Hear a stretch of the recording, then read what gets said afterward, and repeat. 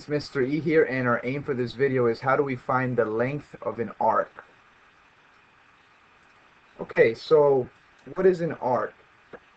I got this definition from regentsprep.org. I really like it, so I'm going to use it.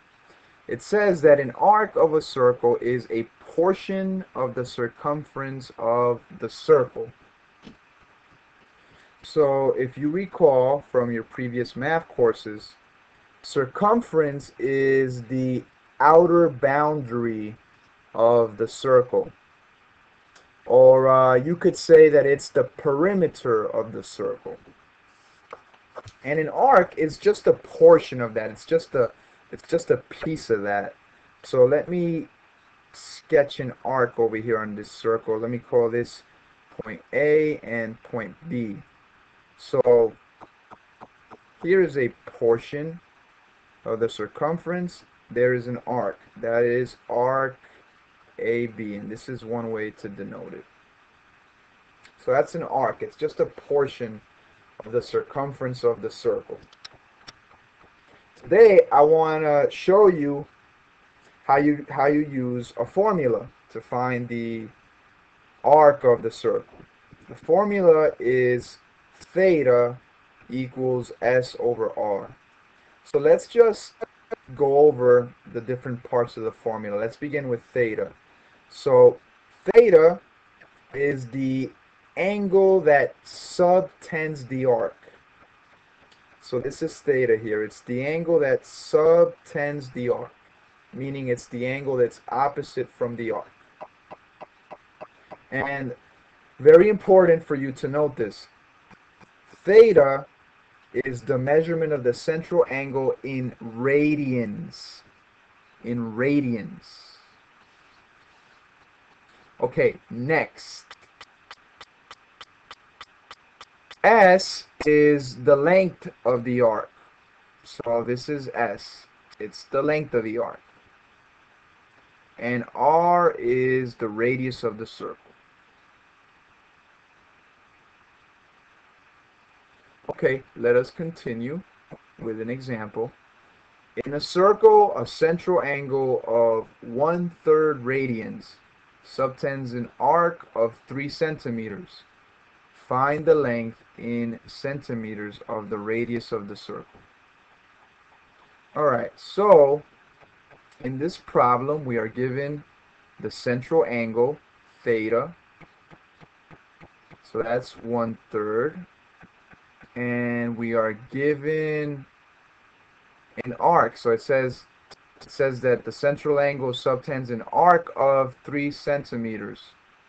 An arc of three centimeters. So that's S. So S is equal to three centimeters. Then it says find the length in centimeters of the radius of the circle. So we're looking for R. we can just plug this into the formula. And let me just before I plug it into a formula let me actually uh, sketch this scenario out for those of you that are visual. So we have a circle and we have a central angle of one-third radians. This is obviously uh, not going to be drawn to scale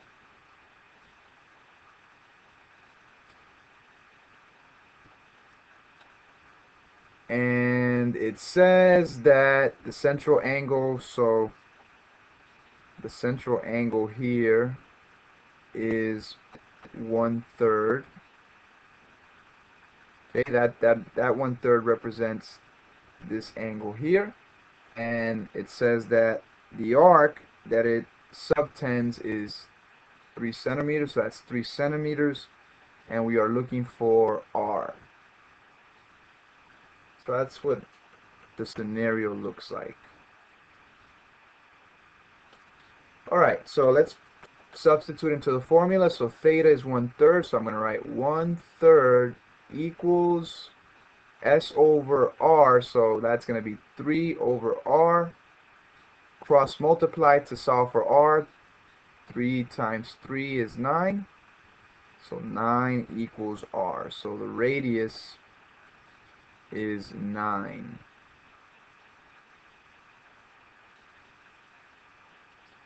Example 2.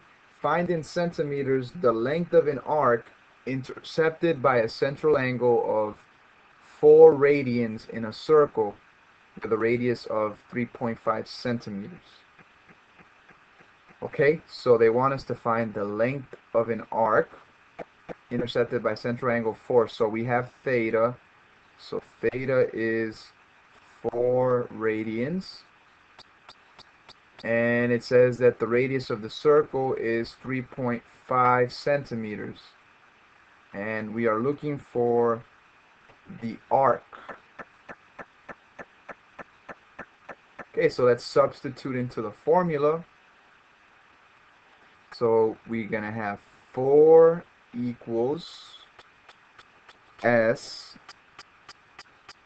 over 3.5.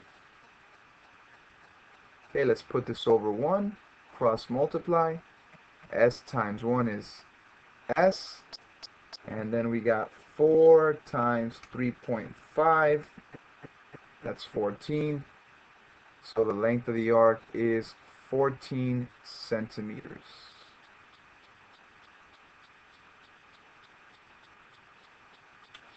Okay. Now you try an example. Write your answer in the comment section. I hope this video helps. Take care.